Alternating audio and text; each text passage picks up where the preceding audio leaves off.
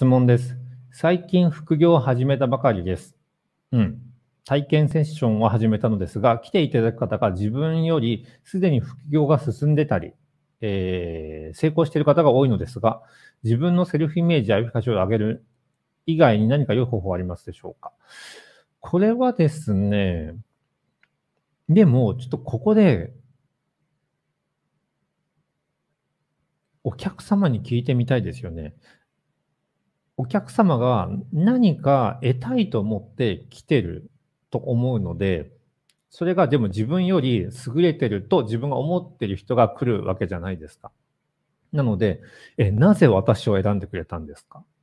とか、えっ、と、ここに申し込んだね、理由って何ですか？どこがいいと思って来てくれたんですか？っていうことを聞いてったら、多分自分が提供ししようとしてること以外に自分の価値があって、そっちを求めてる可能性もあるので、ぜひね、今の質問もやってみてください。